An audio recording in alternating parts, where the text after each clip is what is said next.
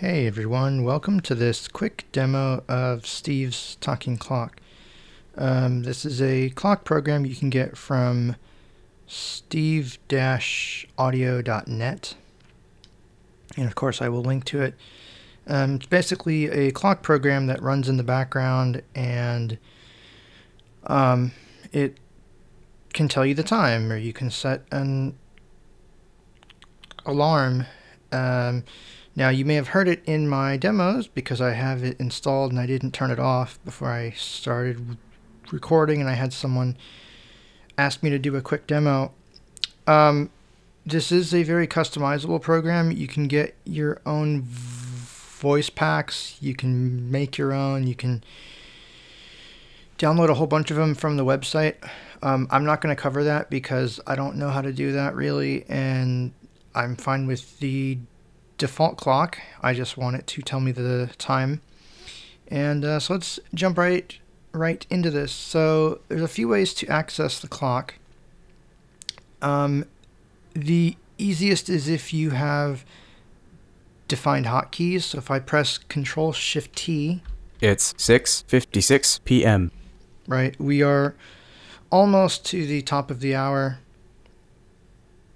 and uh, you'll hear it, it, go off here very sh shortly. You can also get to it with the system tray. I'm using Windows 11 right now, so if I hit Windows B, Show hidden icons button. Show and then I hit the space bar, Steve's clock 2.06 button. Steve's clock 2.06 tooltip. um, this is the first icon that I get to. Yours might be different. Uh, basically, you want to find this icon, and if you hit the applications key, It's 6:57 p.m. it, it will tell you the time. To access the clock, press e- e- e- enter. Steve's clock 2.06. Sorry. Main voice combo box default collapsed. Okay, uh, so you press the enter key to get here. If you've assigned hotkeys like I have, I could also hit Control Shift C to hide or show the clock. So the boxes we have here, uh, this is the, let me press NVDA tab. Main voice combo box default focused collapsed. Okay, this is the main voice. This is what you will hear when it does its different announcements. Right now, I just have NONE. none, which it's spelling it because it's- it's in capitals Default. or default. Um, if I tab, Quarter hour voice combo box. NONE. Collapsed. I do not want it to speak on the quarter hour, but if you want that, you could set that to Default. that. NONE. Half hour voice combo box. NONE. Collapsed. Same for half hour. Three quarter hour voice combo box. NONE. Collapsed. That's self-explanatory, On the hour voice combo box default collapsed. and on the hour. Alarm voice combo box default collapsed. You can set the voice for the alarm. Alarm time edit selected 00 colon 0012 colon 00 AM. Uh, I'm not sure why it's set to 12 a.m., but that is what it, it is set to. So if you tell it, like, say, I want the alarm at, let's see what time we got right now. It is, It's 6:59 p.m. okay, say I, I want the alarm at 7.05. So I'll type Selection. 7 colon 05 p.m., 7 colon 0 5 space PM blank just like that. 24 hour mode checkbox not checked. You can use 24 hour time. I have that off. I prefer 12 hour. Say time button. If you click this button, it will read the, the time. It's 6:59 p.m. And actually, it should go off here pretty soon. Initialize button. Initialize, this is if you add voice packs to the program, you can hit this button. It's 7 o'clock p.m. And there goes the clock. Now, I am going to show you how to get rid of those chimes. I find those chimes uh, very obnoxious. I just want it to speak the, ti the time to me. Save settings button. I can hit save, Pressed. and that will save my preferences, including the alarm, which should go off in about five minutes. Audio button. Audio, Configure audio dialog. Audio output combo box speakers. USB audio codec. Collapsed. if you have uh, different sound cards, you can choose where the sound goes. Digital audio. S slash diff. Hide. Insignia TV, NVIDIA High Defini, Right. I'm just going to go back up speakers, USB audio here to the top. OK button. Steve's clock 2.6 quarter hour voice comp make minimum quiet hot audio. Button hotkeys. Button. Hotkeys, you can set different hotkeys here. Configure hotkeys dialog. Action combo box say time collapsed. You use the uh, uh, up and down keys to go through the choices. Toggle 24 hour mode. Previous voice. Next voice. Show slash hide. Exit clock. And then uh, if you want to modify or view the keystroke, Hotkey hotkey field control plus shift plus E. so I have Control Shift E to qu- quit the clock, Action show slash hide. Hotkey hotkey field control plus shift plus C. Control Shift C to hide and show the clock, Action next voice. Tog say time. Hotkey hotkey field control plus shift plus T. and of course Control Shift T to say the time. OK bu- And uh, these keystrokes are global. Just make sure that when you're assigning them, you don't uh, assign them to commands that programs are using because then they may not work or they may not work in the program.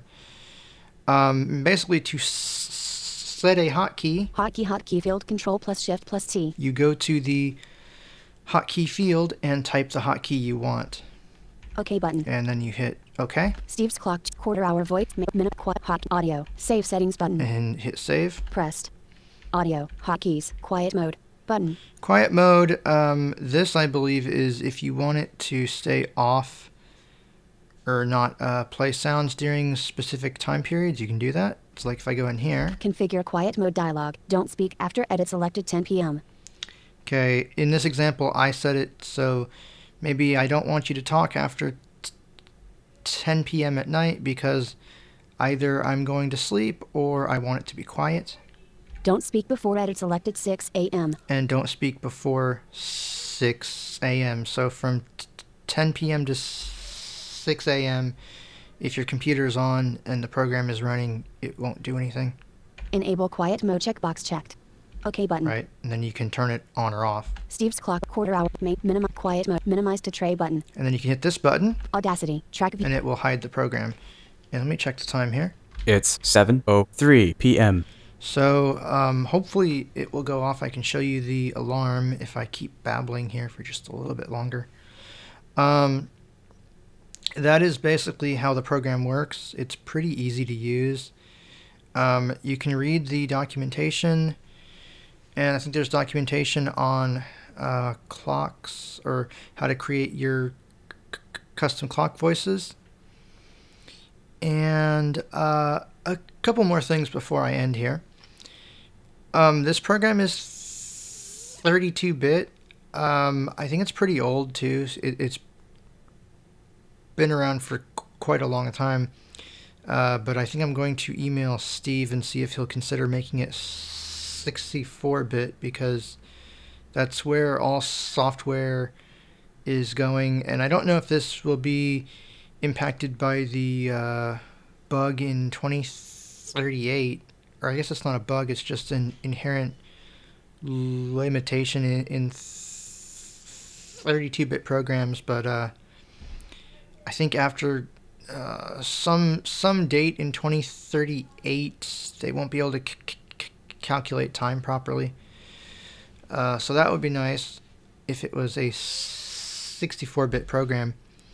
The other thing is let me show you how to get rid of the sounds that play uh, when it's doing things like the time announcements because it'll play those dings and uh, there's a little noise. So if I go to Run dial. run box, we're going to go to program files. You could also do this through this PC, but I'm just going to do it the quick way by typing in the path. Local It's 7:05 p.m. And that's what the alarm sounds like. It basically tells you when you hit that time. P. Program files. So I'm going to go here Program files. x86. To program files x86. Items view.